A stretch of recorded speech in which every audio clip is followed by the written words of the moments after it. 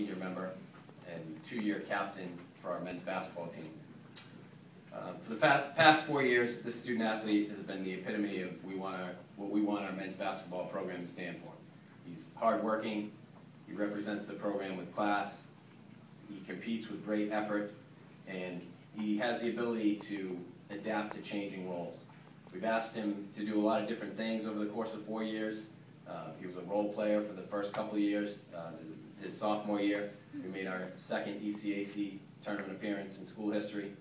Um, In junior year, we pulled him aside and said, you need to be able to, to score more, to have a, a more greater role offensively. He responded by being at the top of the league and scoring and rebounding and earning second team all-conference honors. This year, I brought him in in the fall and said, we have ten freshmen coming in, there's gonna be some roster changes.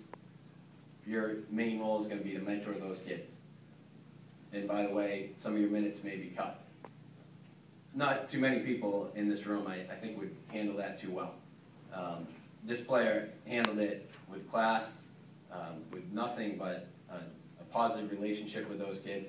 I think the, the most telling thing was after our season ended, to be able to, to hear from freshman parents that they wish their kids would be like Dan Royce in, in four years.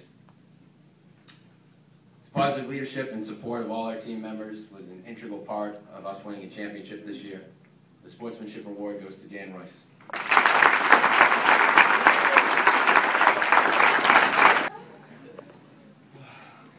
Uh, well, first off, I think for past, you know, everything I've done, I've been pushed by my parents. So first off, I want to thank them for all the practices, the camps, everything like that, making me play basketball in college. And there was definitely some tough times. I mean, we weren't good uh, every year, so it was tough to come back, but they always led me in the right direction. Um, aside from that, I got to thank Coach. Uh, Coach has, you know, uh, helped me out throughout the four years. Everything I needed, always there for me as well as, you know, this year, told us a lot was changing. I wouldn't have been able to tell you that we were going to win a championship from the beginning, but, you know, bringing these guys in, Isaiah, John, Smiley, all them, you know, Jeff, Ryan, my other senior captains, Wendell, Ryan, so everybody was so helpful. But, um, without that, you know, I mean, I don't think we would have gone as far as we could have, so I just want to thank you guys. Good luck to everybody else.